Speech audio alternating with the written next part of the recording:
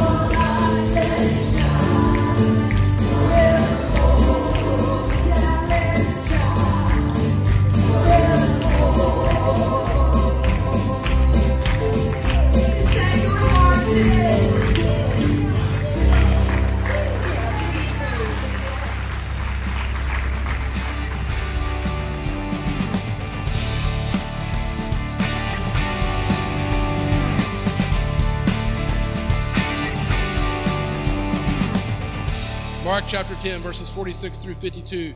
Verse 46 says, Then they came to Jericho, and as Jesus and his disciples, together with a large crowd, were leaving the city, there was a blind man named Bartimaeus. He was sitting by the roadside begging. Verse 47. It says, When he heard that it was Jesus of Nazareth, he began to shout, Jesus, son of David, have mercy on me.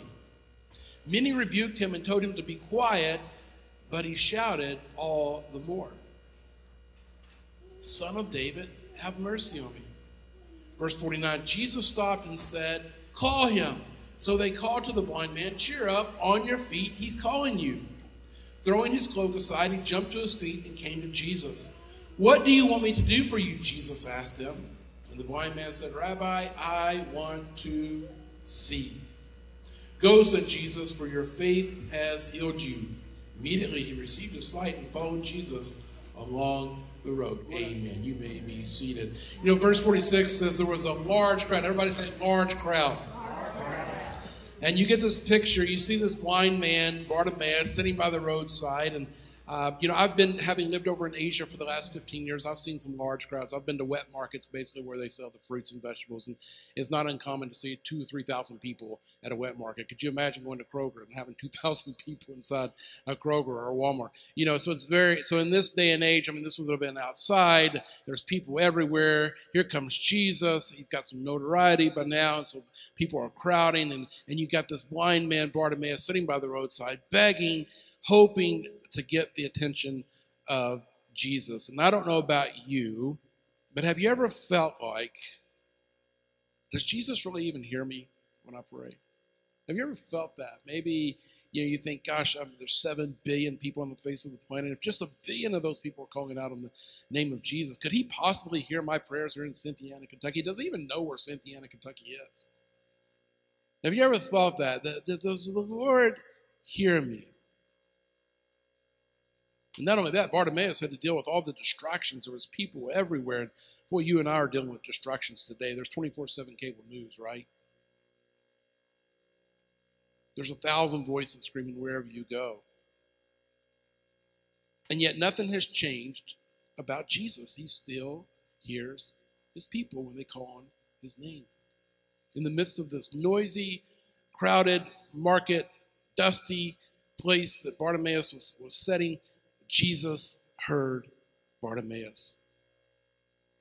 And he hears you as well. Just think about this for a moment. Right now, Jesus can see you. Right where you're sitting. Right where you're sitting. Every breath that you exhale, he knows it. Every he knows the number of times you will blink your eyes during the service. Or if you fall asleep. You better be good. You better watch out. No. He sees you. I don't know. I believe that's for somebody this morning. I think Crystal was kind of hitting on that a little bit during worship. Jesus sees you. He hears your prayers.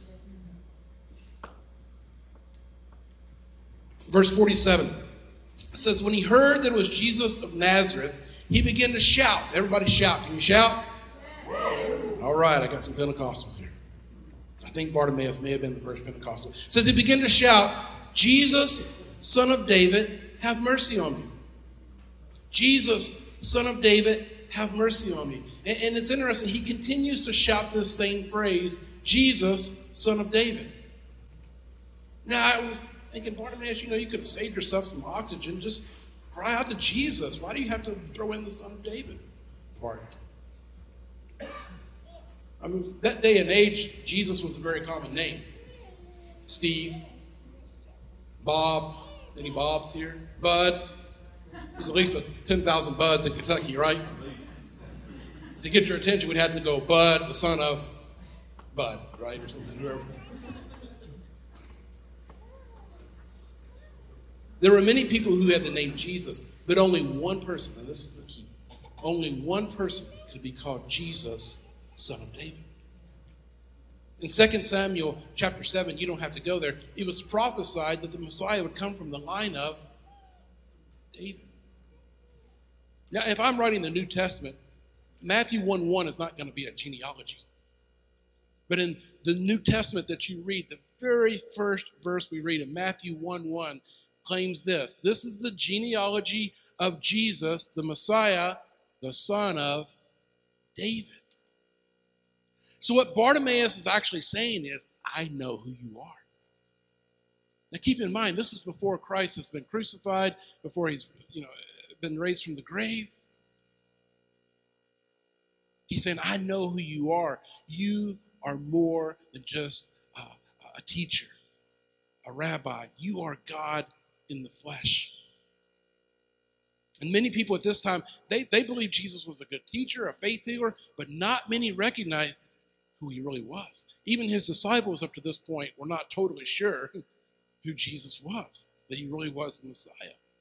So the whole crowd would have heard Bartimaeus' confession. He was saying, Jesus, I know you're more than human, and you are indeed God. And though the eyes of Bartimaeus were blind, the eyes of his soul could see very clear. The eyes of his soul could see very clear. And my prayer for you, I don't know about you, but you know there's a lot of different Jesuses being preached today. There's a whole lot of different Jesuses being preached. There's the Jesus that uh, that doesn't really care. He's not going to judge anybody. Everybody's it's all going to be okay. John 3:16, for God so loved the world, right?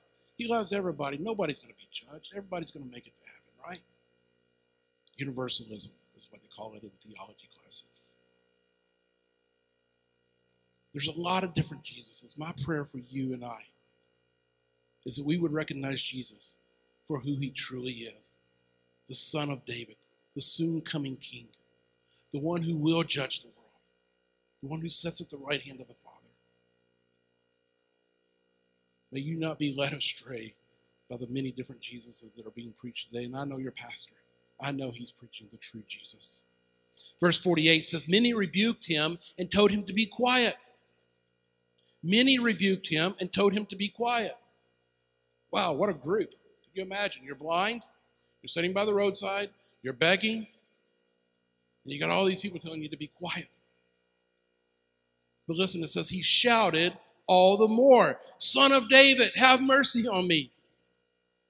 You know, you and I live in a culture where Christians are being told to be quiet all the time. We don't want your truth. Don't tell us what's right or wrong. Your opinion doesn't count. We're loud, we're proud. Don't tell us what's right or wrong. My body, my choice. We don't want you Christians telling us what's right and wrong. But when the crowd rebukes you because of your stand for Christ, shout all the more. Shout all the more. This is not the season to be quiet. Shout for your family, for your church, your religious freedoms. You know, every time you come to this church on a Sunday morning and park your car, it's like a vote for religious freedom. It's just as important as what you do on the second Tuesday in November.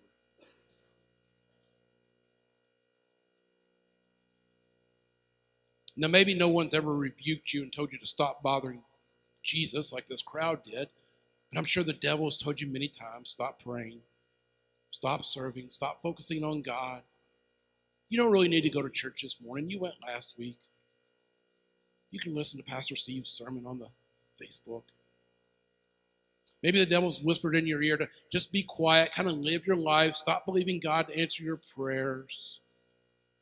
Stop believing for the salvation of your loved ones. You've already prayed for them. You don't need to continue to pray for them. Maybe the devil's whispered in your ear, stop believing for the restoration of a broken marriage or broken family or friendship. Maybe the devil's just said, you know, just be quiet, just live your life. But when the people told Bartimaeus to be quiet, the scripture says he shouted all the more.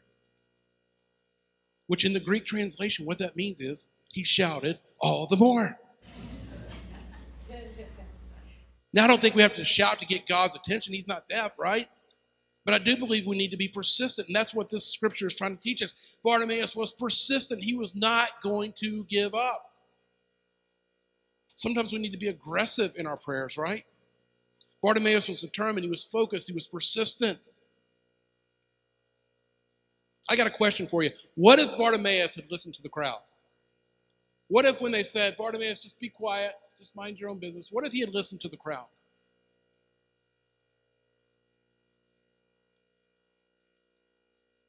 I don't believe with this story would have ever made the pages of Scripture.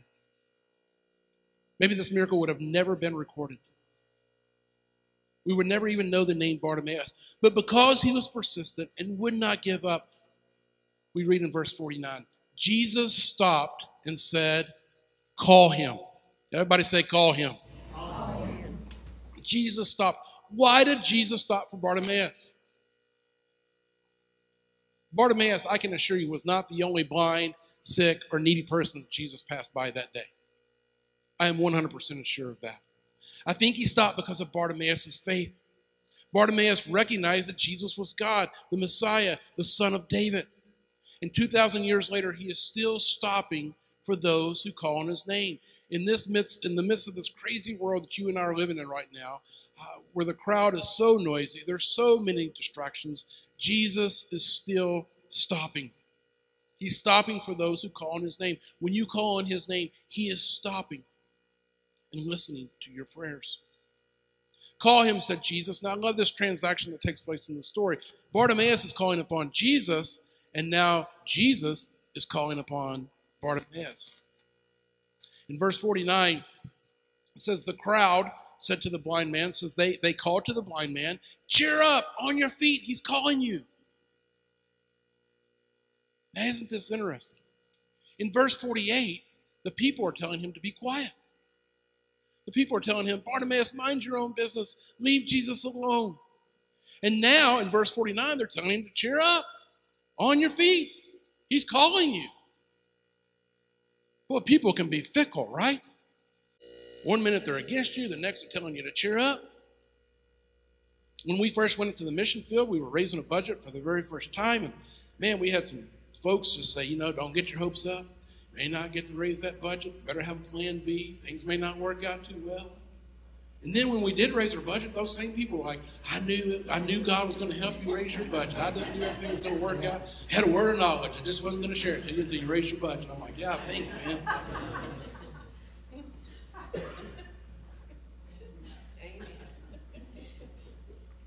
Call him.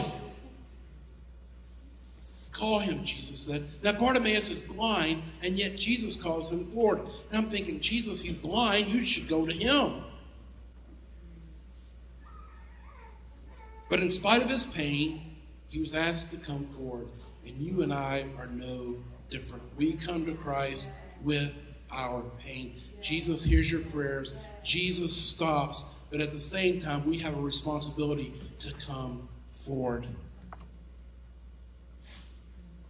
I've often said if salvation was 100 steps, Jesus will take 99 of them, but he'll leave that last one for you and I to make. Verse 50 says he threw his cloak aside. You know, his cloak was like a little snuggy bunny.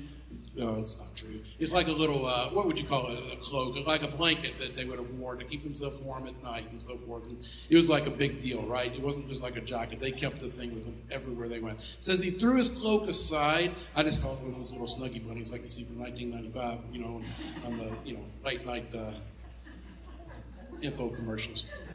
But he threw his cloak aside, jumped to his feet, and came to Jesus. I love this. I don't think Mark just threw this in. The, the, the, uh, uh, Mark, the writer of this gospel, he didn't throw this in just for good measure. Words in Scripture are not wasted. It says he threw his cloak aside. Mark is trying to teach us something here. Bartimaeus' cloak was a hindrance. It slowed him down.